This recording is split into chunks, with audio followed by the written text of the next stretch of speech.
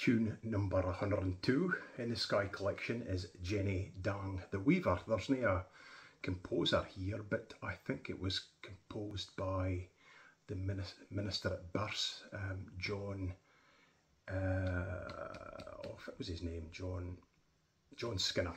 And um, eventually became the minister at Longside, which is where he's buried.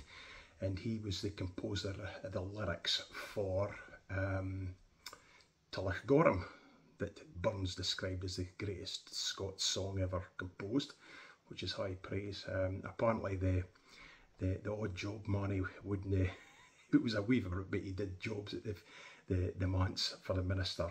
Um, he wouldn't clean the minister's boots as directed by Jenny, the housekeeper, and she apparently leathered him with a tatty beetle, which is a thing for washing tatties. So so Jenny Dang the Weaver. And I think this was composed around about 1747 or so.